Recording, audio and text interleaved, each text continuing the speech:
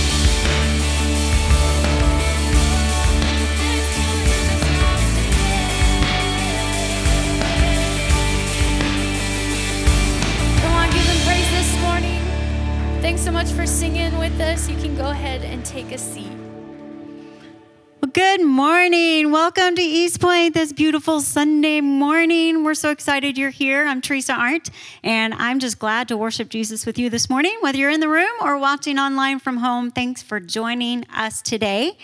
I want to invite you, if you are in the room, especially to open up your phones. You should, we used to tell you to put your phones away and silence them. Now we're like, bring them on out.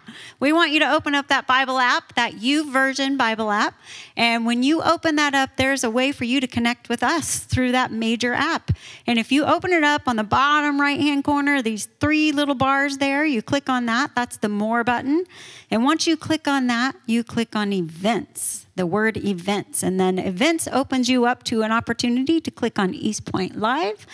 And you click on that, and then you are in the know. That app allows you to have message outline, message notes, take notes, save it for later. There's an opportunity for you to see all the things that we have going on here at Eastpoint and even sign up and register for things. And you can give prayer requests. You can let us know how we can pray for you, and we can be partnering with you in prayer. So, lots of good things there, but I just wanted to highlight a couple of things. Today, we have no less than, but I know we actually have more than 12 people signed up, but more will be baptized today at 1 o'clock. I know. Isn't that exciting? Um, one o'clock at Kiwanis Park. If you just put in Kiwanis Park and Google, and they will take you straight there. And then we'll have people there in the parking lot kind of directing you our direction. We'll bring your own lunch, bring a lawn chair, and then we will eat and then gather together for some more singing and celebrating people who are choosing to make a public declaration of their faith in Jesus. So that's going to be exciting. I have uh, several groups, several opportunities this fall coming up for you guys to take some classes and get involved. We have Financial Peace University to help with your finances. We have a divorce care if you've encountered a divorce or someone you know. We also have uh, Marriage on the Rock to enrich your marriage. But I cannot stand up here and do justice to all these classes when we have so much happening. So here's what I'm going to ask you guys to do. If you haven't already, and if, you, if you're watching online, I want you to do this too. If you haven't already liked Facebook page, Eastpoint Church Facebook page, or our Instagram, please do so because we have all of the things that we talk about on Sunday morning show up on Instagram and Facebook. And you know what the best part about that is? You get to share it. So not only are we announcing it for here, but you get to share it with your friends that we have all these opportunities and classes because you don't have to attend Eastpoint to go to some of these things. So you are a great publicity for us as well and helping us market. So be sure to like those Facebook page and Instagram so that those upcoming announcements that we have about the classes, you can help pass and share the word. And then Wednesday is our youth end of summer bash. They're catering Chipotle and they're going to have a big blow up jousting ring where they get to beat each other up but not hurt anybody. So that's going to be fun. So if you have a middle schooler or high schooler, make sure you get them here. Um, doors open at 6:15, I believe, but they starts at 6:30, and you won't want to miss that for them.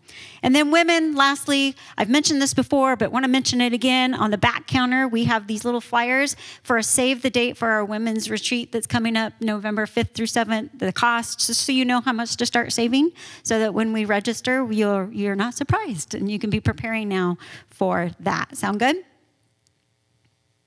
Thank you. I feel like I'm so alone up here. Well, now, as we do uh, every week, we turn our attention um, to the tithes and offering of giving to Eastpoint, and we do that through text. You can do it through uh, the YouVersion Bible app. You can do it by placing your offering in the back boxes on your way out. And I try to like to encourage what your money goes toward. And today, I just want to remind you, Jesus Himself said. Let the little children come to me, right? Jesus did not want to hinder any child having an encounter with himself. And because of your finances, did you know there's a good handful of kids back there that are being helped finding and following Jesus this week? And we do that, and we can do that because your resources help us get the resources of curriculum and supplies that we need to give them the encounters to help them find and follow Jesus at such a young age. So thank you for giving so that we can encounter and help uh, reach the next generation. That's a blessing to them and their families as well. Well, we're going to invite you to stand. We're going to sing some more songs. You know how when you go into the grocery store or some of those mall, there's always music playing. There's always like happy music playing, and you just kind of feel good. And they, you know, their intent is, I want you to buy more because if you feel good, you buy more. And that's the intent of music. Music has that impression on our hearts. And I don't know about you, but culture, there's some storms in culture happening right now. There's some storms in my life happening right now. And do you know what the Bible says about praise and worship? It's a way we battle the storms. It's the way we rise above the storms. And the best way to do that is to focus our attention on the one who is above the storms and the one who controls the storms. So we're going to do that today as we sing, let's raise a hallelujah to the things that Jesus is doing in your life and the things he will continue to do in spite what's going on around you. Let's stand and sing.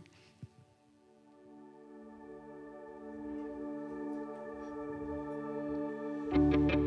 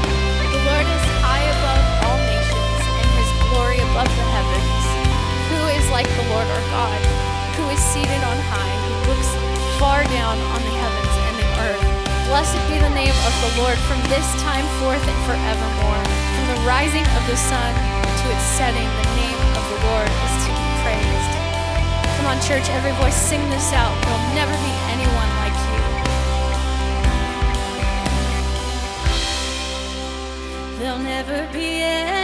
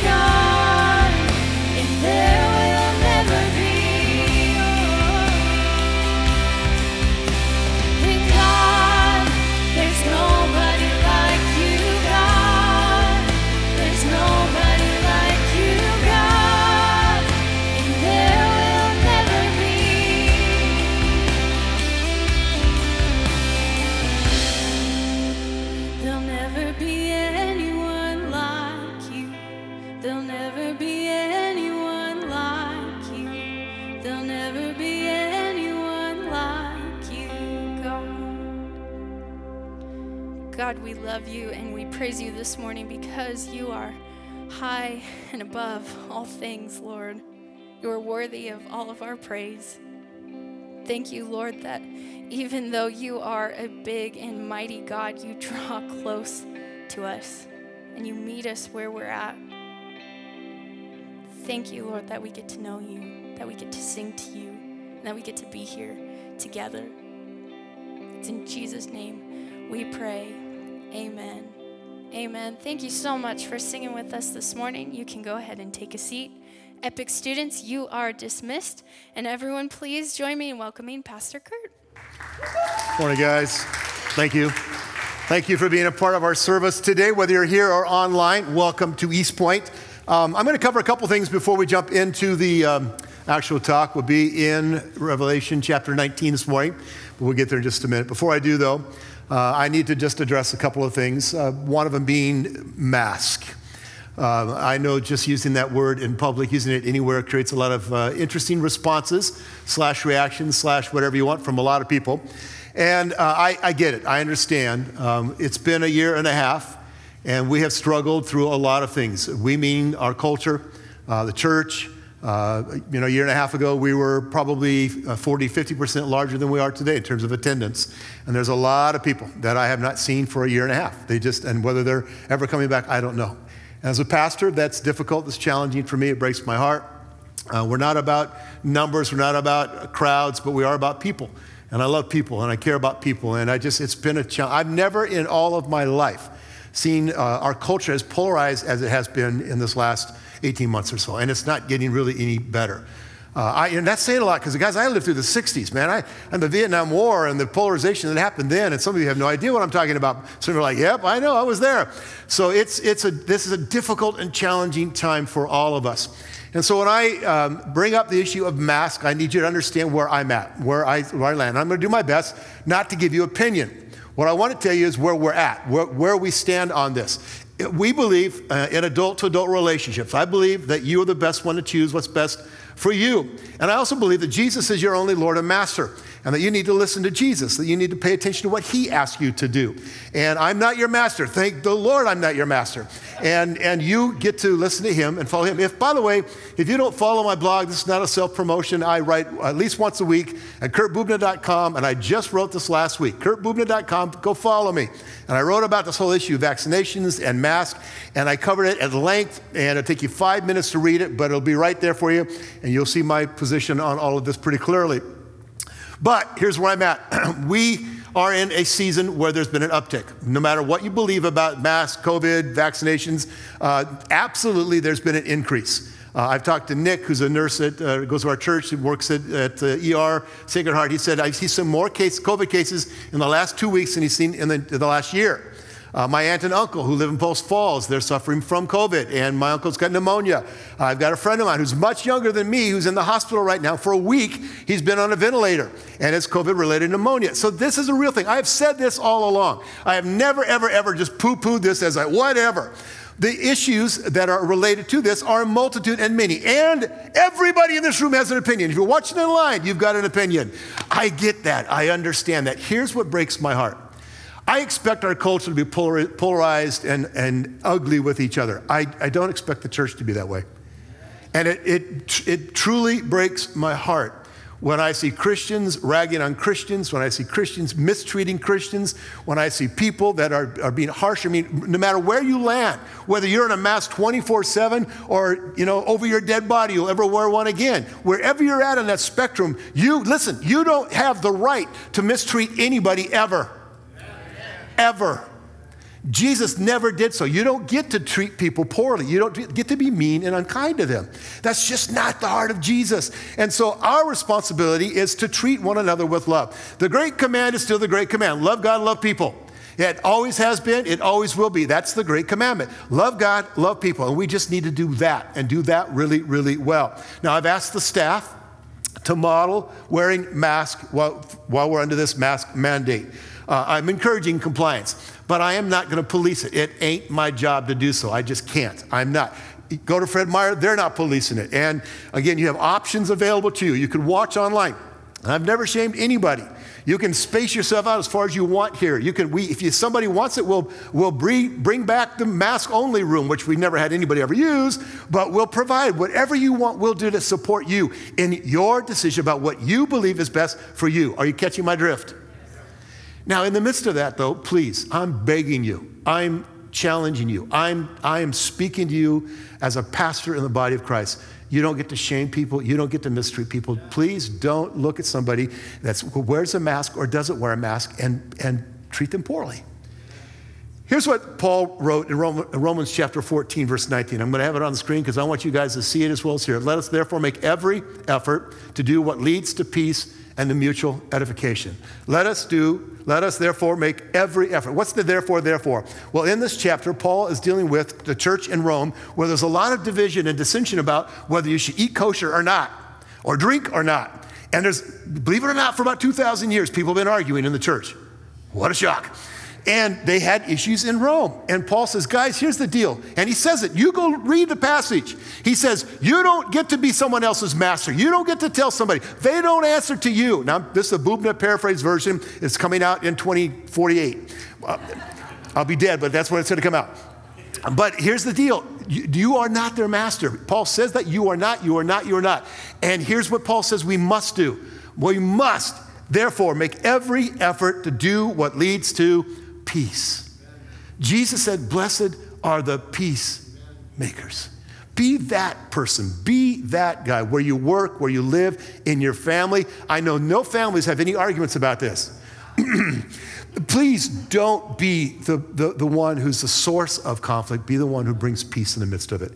Are you hearing my heart? Yes. Three of you hear it. Thank you very much for that. I, I'm, I'm begging you guys. It breaks my heart when we see people who are mistreated, and, and we cannot do that anymore. One more thing before I jump into the text. Uh, here's a personal challenge. If you've not yet been baptized in water, today's the day. If you're a Christ follower and you've not been baptized in water as a public declaration of your faith in Christ, the Bible says in Mark 16 16, repent and be baptized when uh, Peter preached his first sermon and people said, What do we do? He says, Repent and be baptized. Jesus got baptized. Jesus gave us the Great Commission, which is to go into all the world, preach the gospel, and baptize them in the name of the Father, the Son, and the Holy Spirit. Water baptism is an outward sign of some, an inward reality of what God has done in your heart. We don't make you walk down front. We don't single you out when you make a decision here at Eastpoint when you become a Christ follower. We make it pretty easy for you to make that decision, but this is your public declaration. Yep, I belong to Jesus. Yep, I love him. Yep, i have surrendered my life to him. And so today, uh, it's 20 minutes down the road. 20 minutes. And by the way, Post Falls doesn't have a mask mandate. I'm just saying. So 20 minutes down the road, Kiwanis Park, it's beautiful. It's going to be a great day. We're going to gather down there, have a meal together, and then walk down the river, have some worship, and, we're and, and uh, baptize people. And if you've not been baptized, today's the day. So, well, I need to pray about it. No, you don't. You don't. You never have to pray about what the Bible tells you to do. Just do it, and it's time, okay? It's an outward sign of inward reality, and I'm going to encourage you to do that today. All right. End of pre message number one and two. Here's the real message. Teresa did an incredible job last week. If you missed it, uh, I gave her the really easy topic of talking about the wrath of God. Yeah, and uh, she did a phenomenal job. I mean, incredible job. One of the things she said, I'm just going to quote her, says, I love it, the loving and just God cannot look the other way regarding sin. The perfect and final reign of God demands judgment of those who refuse, keyword, those who refuse to embrace his rule, his grace. His sin requires payment. But God, in His grace, provided a way to escape His coming wrath. God provided a way. And that's what we need to land on, and that's what we're going to talk a little bit about today. But we'll be in part six of our series, The End of the World as We Know It. We'll be in Revelation 19. Next Sunday, I know it's Labor Day weekend, but if you're in town or if you uh, can watch it online, we're going to finish up the series and talk about the new heaven and new earth, and it's going to be awesome. It's going to be fun. We're going to finish the last three chapters of Revelation. But this morning, we're going to focus on Revelation 19. In Revelation 17 and 18, uh, primarily deals with the fall of Babylon. What's the fall of Babylon? Well, some believe it's a literal city rebuilt on the Euphrates River. Possible. They take that passage literally. Others believe it's a revived Roman Empire, and that's a possibility. Many, including me, believe it symbolically refers to an evil world system where the Antichrist and his minions will control, and it'll be an evil world system that is coming. And I think if we've ever wondered whether that's possible, we can sure see how that's possible now, huh? I really think, yeah, wow, it's scary possible. But regardless of where you land on this issue, whether you think it's literal or not, or wherever you think it is, here's the bottom line. And I always love landing on the absolutes. Here's the absolute it gets destroyed. Whatever it is, it gets destroyed by God's judgment and it, it gets destroyed for its moral and spiritual decadence. So, chapter 19 begins with heaven rejoicing over the defeat of Babylon, over the defeat of evil, and it ends with Jesus' second coming. It's incredible.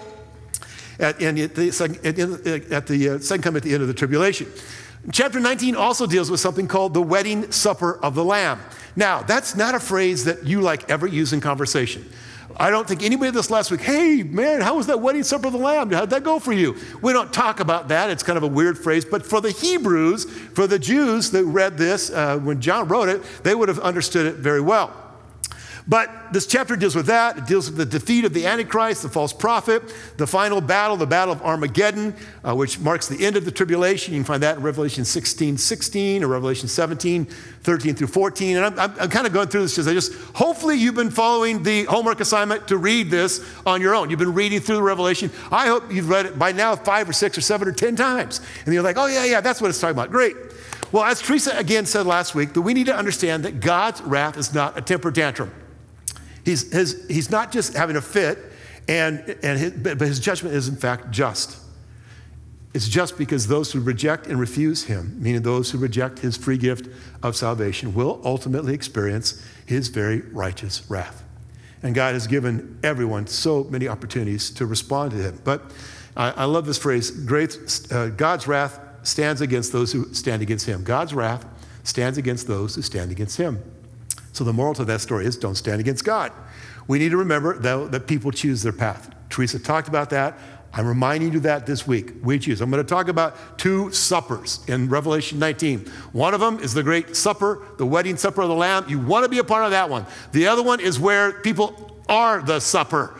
And it's gross, gross, gross. I just made up a word. It's gruesome, and you're not going to want to be a part of that one. But uh, the group that partakes in this great supper of the Lamb is something that I want us to focus on today. But here's what I want you to walk away with. It's the big idea in your outline. Because Jesus loves us as a groom loves his bride, we can look forward to a day of celebration with him. I don't want you to leave here today depressed, scared, terrified. I want you to leave here rejoicing that because God loves us, because Jesus loves his bride, that's us the church. Because he loves us, we can look forward to a day of celebration. I've mentioned this every week. The church in Asia Minor, modern day Turkey, was suffering a great deal. When John wrote this to them, they were suffering some martyrdom, persecution for their faith. And John's encouraging them. One of the great goals of the book of Revelation is to remind people hey, listen, it doesn't matter how tough it is right now, right now is not the end of the story. Let me make a personal application to you. It doesn't matter how tough it is right now in your life what we're facing as a culture, as a, as a planet, as a world. It, it, it, it, of course, it's hard, but we win. The ultimate victory that we have is in Christ, and that's what we need to focus on. So we're going to talk about the, uh, the love that groom has for the bride. In fact, to set the tone, I'm going to show you this picture. I, I have no idea who that guy is standing next to my wife. but that's me and my lovely bride. Uh, many, many, many, many, many, many, many. I was 18 years old. Yes, I was young. And uh, lots of people thought we'd never make it, and because they knew me, and they were probably more shocked uh, that we did. But we just celebrated in July our 46th wedding anniversary. Yeah. And I know some of you thinking, I'm not even that old. Yeah, I know, get over it. Um, but a long time ago, I remember that day. I remember the details of it. I really do. I remember the anticipation and the nervousness I had. Uh, I remember how I felt as the doors of the auditorium were closed. And my wife stood there with her uh, dad at the back.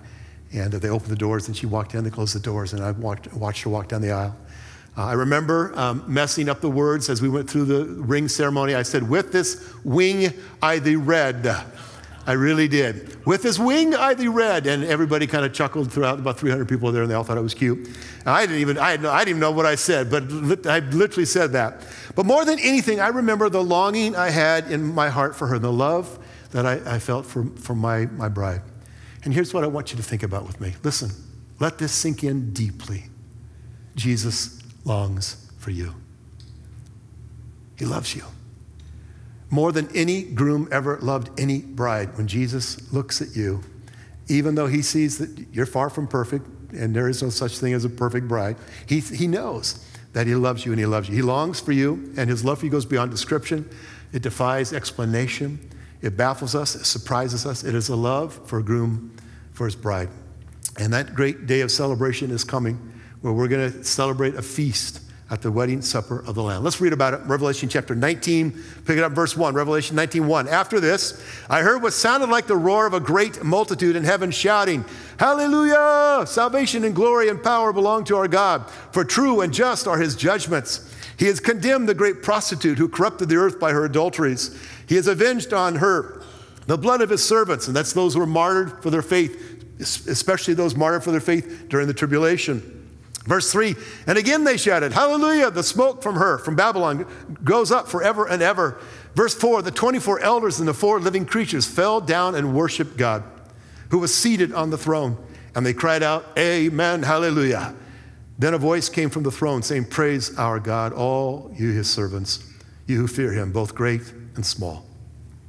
Then I heard what sounded like a great multitude, like the roar of rushing waters and like loud peals of thunder shouting, Hallelujah, for our Lord God Almighty reigns. Let us rejoice and be glad and give him glory. For the wedding of the Lamb has come, and his bride has made herself ready. By the way, here's a little tidbit of information that you may or may not know. We use the word hallelujah. We lots of different songs and Christians. It's kind of a Christianese term what we use. But this is the only place in the New Testament that it's used. And it's used four times in one chapter. Four times it's used here. Hallelujah means praise the Lord or glory to God. And it's used as a bold declaration of reverence and honor to Him. And it's used four times. And quickly, I just give you the, the context of the references uh, for hallelujah. The first two, hallelujah, the first one was for God's enemies are defeated. So a great multitude shouts, Hallelujah, God, we win. The second is verse three the victory is permanent. The, the uh, significance of the smoke rising up from Babylon is that there's a permanence to God's victory, and it's going to be forever and ever from that point on. Verse four, uh, the hallelujahs from the 24 elders and all who uh, are there gathered, uh, kneeling down before the throne. And it's there that we're singing hallelujah, shouting hallelujah to God who is sovereign over all. And verse 5 to 7 is where great or small, all believers are in community. Notice there, I love this, great or small, all believers are in community, worshiping God together. In fact, at a deafening le- level. Louder than you can possibly imagine, louder than you've ever experienced, probably in any concert or any church worship service on the planet. Every tribe, every nation, people from all ages are going to shout, Hallelujah! For our Lord God Almighty reigns. In fact, I want to just put that up on the screen. And if you got a little baby, cover her or his her ears, because we're going to shout this. I, I, want you guys to shout this with me. Let's just practice. One, two, three. Hallelujah! For our Lord God Almighty reigns. All right, that was okay. It's going to be a lot louder than that. And you won't be able to hold yourself back. It's going to be this, this, this declaration, this screaming. I have been to uh, Victoria Falls in Zambia. Uh, maybe some of you have been to Niagara Falls. My wife's been there.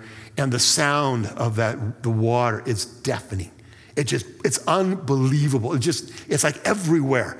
And that's what we're going to experience someday in heaven with God.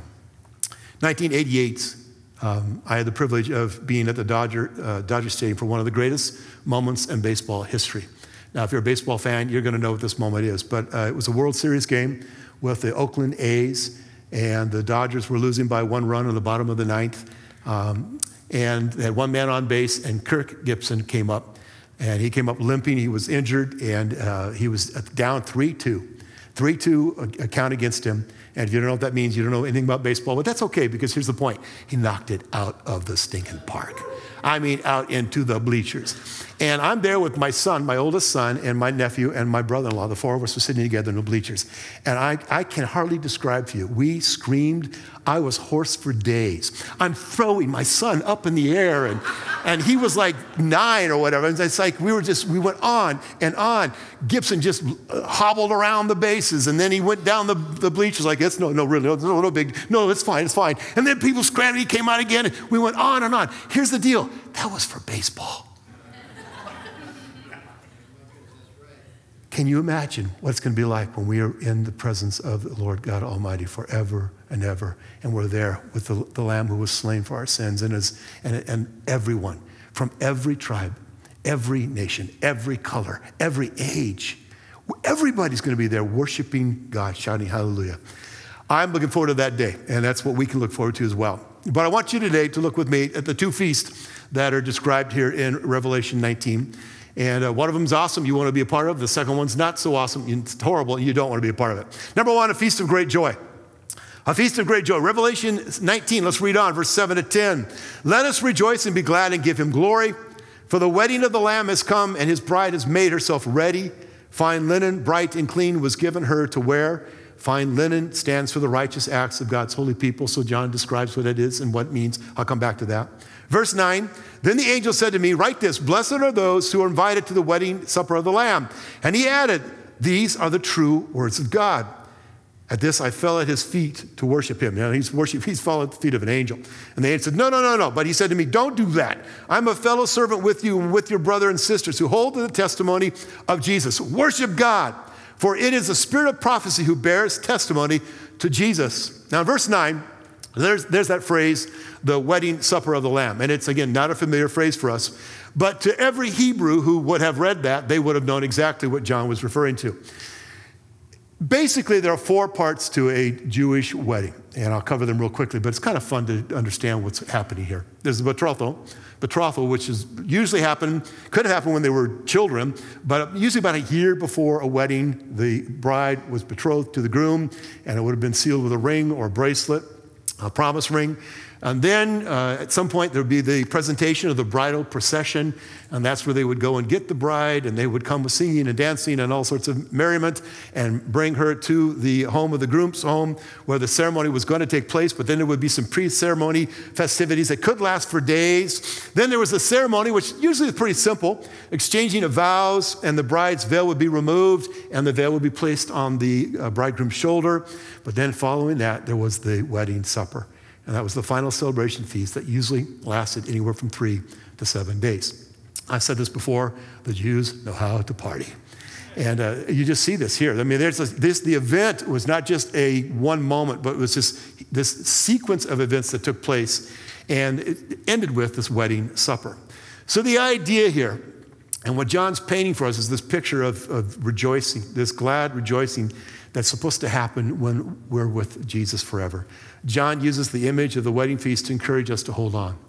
Again, the Christians are being persecuted, martyred for their faith in Asia Minor. The letter that this went to, those people were suffering a great deal.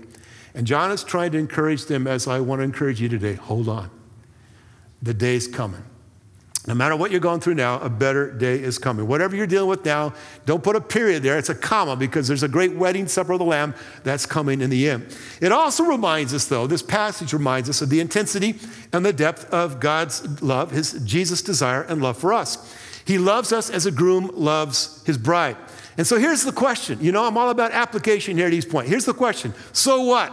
What is a reasonable response then of us, of the, the, of the bride to the groom? What's our part in the celebration? Well, look at Revelation 19, 7 and 8. Verse 7 says, Let us rejoice and be glad. Part of our response is to party, to rejoice and be glad.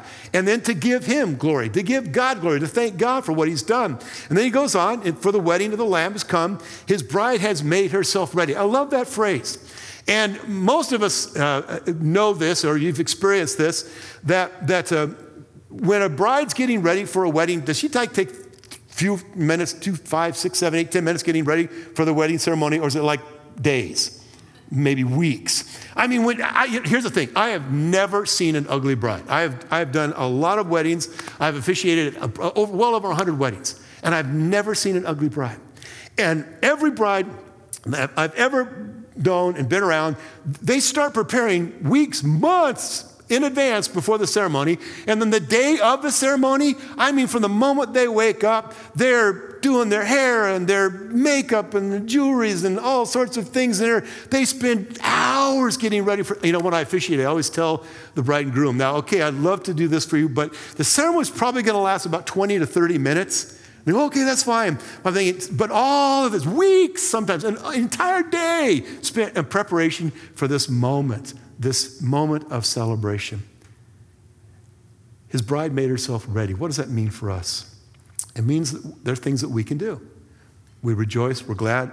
But he talks about here that the fine linen stands for the righteous acts of God's people. Now, here's what you need to know uh, we don't do these righteous acts to earn anything from the groom. No bride gets beautiful hoping that when the groom shows up, he finally loves her. Oh man, I really hope that I look good. But really, really suck if he showed up and walks down the aisle and says, Nope, you're really ah. Now that would be terrible. No, that's no bride ever stresses about whether she will be loved or not. She is, because she's loved, responding to that love by wanting to look her absolute best and to be prepared. And the letter here in Revelation is challenging, encouraging us to be prepared. And we don't do these acts to earn anything. The bride is dressed in fine linen, these righteous acts, these deeds, these actions of God's holy people. They're not acts to earn God's righteousness, they're in response to his given love for us. The practical results of what he's done for us. So, they're acts of love. They're a response to the love we already have from the groom. And why do I bring that up? I grew up in a church where pretty much you had to do all the right things to make sure you were in the right place so that you could be loved by an angry God. And that is not truth. That is not the way it is. We are to do things. What you do does matter. But why you do it matters more. Are you listening to me? You ought to do works of righteousness. You ought to serve others and serve God. You need to do things that are a demonstration of the love that you have already have from Him. Righteous acts of God's holy people are acts of servanthood and sacrifice. They're acts of love for Jesus and for others. It's that outward manifestation of an inward reality. It's like water baptism. Because Jesus loves us, because he loves you, you prepare for his coming by doing good works, good acts of service for others out of love. This week, here's your challenge. When you go and you have to work with somebody that's really hard to love, find a way to serve them when you go home or you know your kid or your spouse or your whatever your bff says something or does something really not so good or you're having a hard time it's just like i really wish you just would be easier to love. It's in that moment that you find a way to serve them. Find a way to sacrifice for them. Not to earn from them not because they deserve it but because of love. Just simply because of love. We serve we give, we sacrifice because of what God has done for us. It's in contrast to the great prostitute Babylon, who corrupted, seduced, and destroyed people with her depraved morality and self serving acts. The church, the bride of Christ, on the other hand, proves herself, proves her love for the groom by good works done in love for the honor and glory of God. So go, do things this week. Love others because Jesus loves you. The cool part is, and we get to celebrate that day is coming we're going to celebrate in the wedding supper of the Lamb. That's the first feast. The second feast, and I won't spend a lot of time on this because it's not really pleasant. But the second one is the feast of great tragedy. A feast of great tragedy. Look at Revelation 19, verse 11. John says, I saw heaven standing open, and there before me was a white horse whose rider is called Faithful and True. With justice he judges and wages war. His eyes are like blazing fire, and on his head are many crowns. He has a name written on him that no one knows but he himself. He is dressed in a robe dipped in blood, and his name is the Word of God. The armies of heaven were following him. Those, that army is composed of all believers, riding on white horses and dressed in fine linen, white and clean. Coming out of his mouth, this is Jesus, out of his mouth is a sharp sword with which to strike down the nations, those who are opposed to him. He will rule them with an iron scepter. He treads the winepress of the fury of the wrath of God Almighty. And on his robe and on his thigh, he has his name written King of Kings and Lord of Lords. Verse 17. And I saw an angel standing in the sun who cried out in a loud voice to all the birds flying in midair. And here's where it gets kind of gruesome Come, gather together for the great supper of God. This is not the feast of the wedding supper of the Lamb. This is, this is the one you don't want to be a part of. Come gather together for the great supper of God, so that you may eat the flesh of the kings, generals, and the mighty, of horses and their riders, and the flesh of all people, free and slave, great and small. Verse 21 The rest were killed with a sword coming out of the mouth of the rider of, on the horse, and all the birds gorged themselves on their flesh. That's the supper you don't want to be a part of. This picture here is Jesus changing from the groom who loves the bride to Jesus, the warrior king. the warrior king. The image of him on a white horse shows his incredible and ultimate authority. And in John's time, this white animal would have been something that a white horse was a, what a Roman general would ride on after victory. And I love in verse 14 that the armies of heaven are showing up on white horses as well. We are the victors in this as well.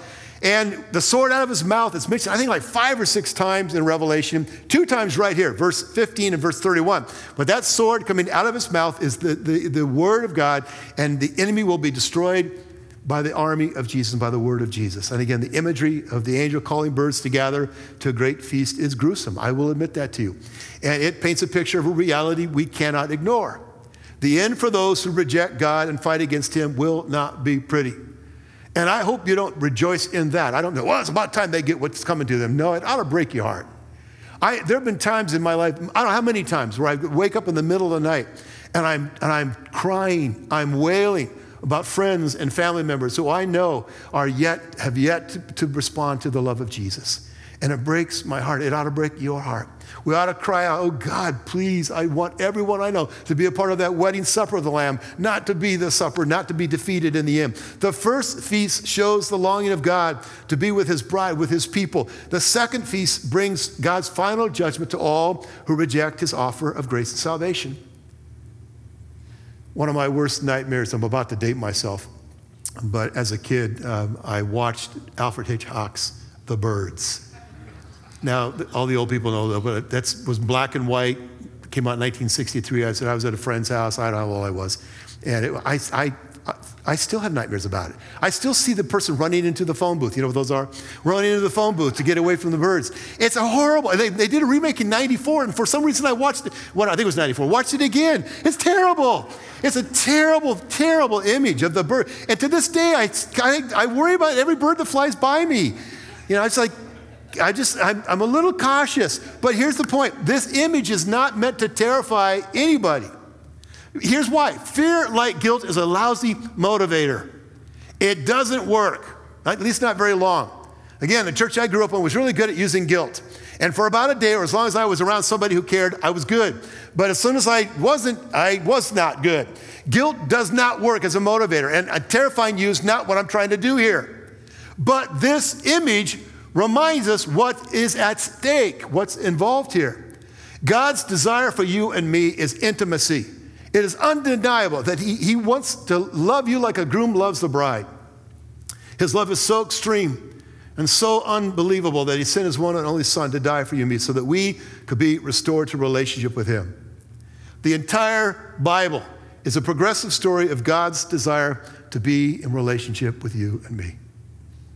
And you've got to know that He loves you and He wants to be in relationship with you. And that's what I want you to hear today.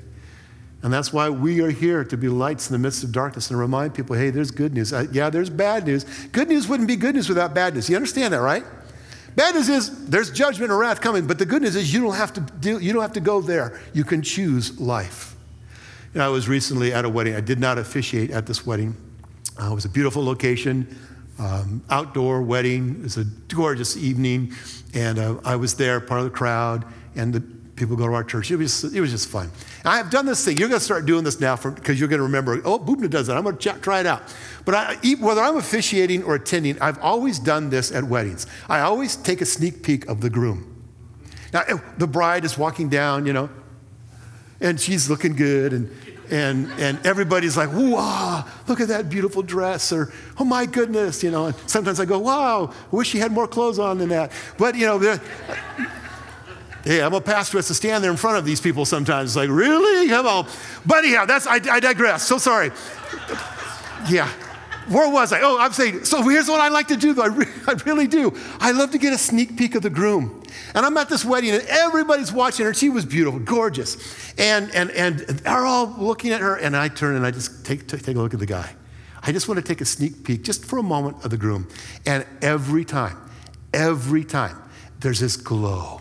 The groom is elated, excited, thrilled. Just can hardly, I can't find a word to describe the way the groom feels about the bride. Listen to me. Listen.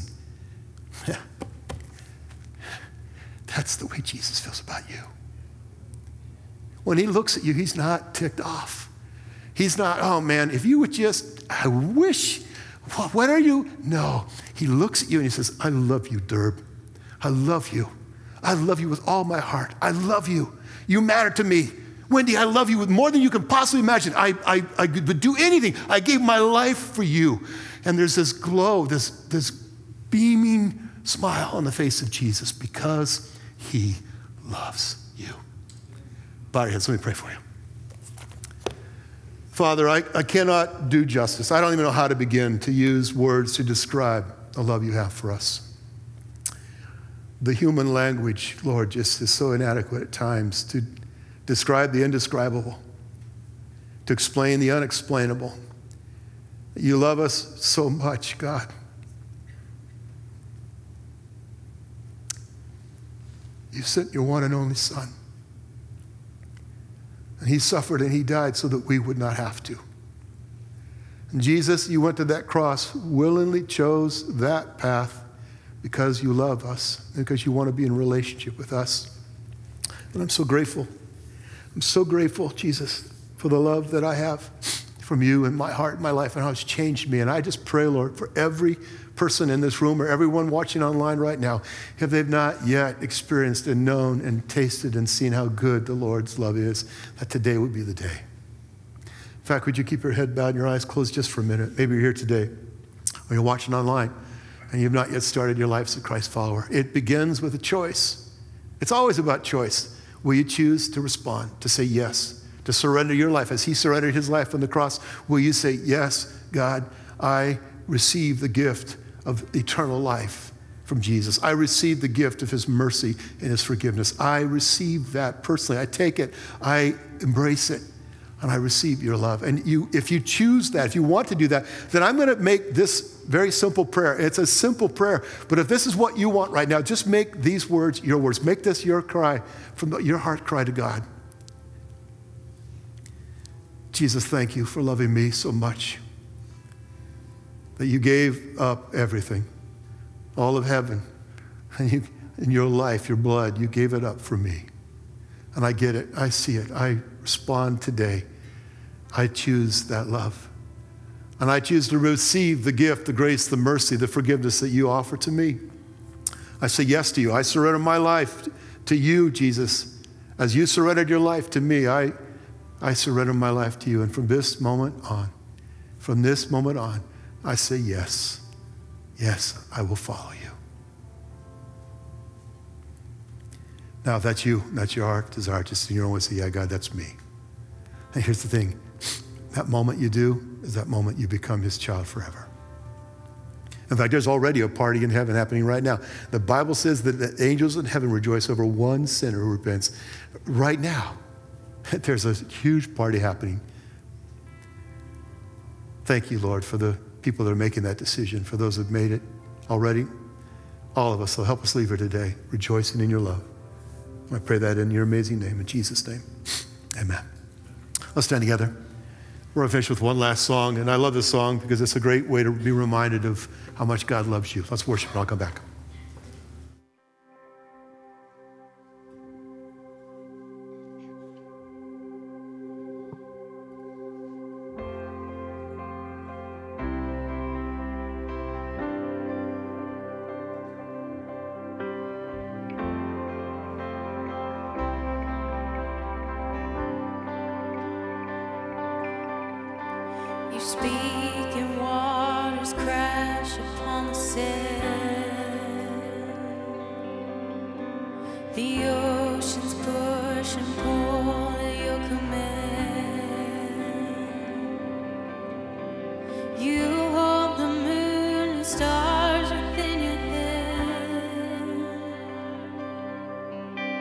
And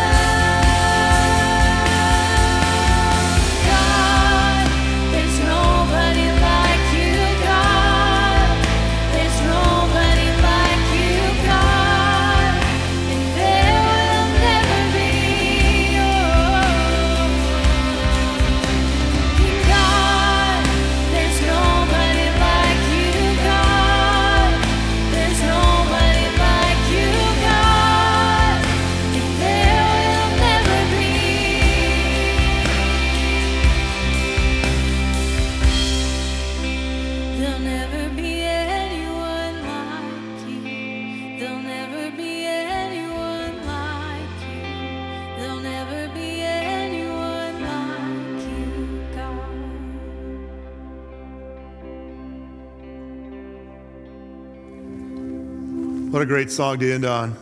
Just a reminder how great and awesome He is, and He loves you guys. And I love you too. Thanks for being a part of our service today, for being here, and for putting up with me. And I uh, encourage you, if you began your life as a Christ follower, tell somebody and get baptized today. What a, what a radical idea. Repent and be baptized. You gave your heart to Jesus today. Go down to Post Falls, 20 minutes down the road, and get baptized. We'll be down there. We'll start eating about one or so whenever we get there and, and baptize at some point after that. We, we'll have plenty of time. But uh, also, if you uh, begin your life or today or recently, uh, on the tables and the baskets, there's a basket. Uh, it's got paper bags. It's- So begins this wonderful adventure. It's got a Bible and some material to get you started in your walk with Jesus. And on both sides of the room, commu- communion is always available by the candles if you'd like to take that. Next week, we finish up Revelation. It's Labor Day weekend, but if you're in town, I'm in town. And we're going to finish up the series and talk about the new heaven and new earth. It's going to be awesome. I love you guys. Hope to see you later or next week. God bless you. Thanks for being here.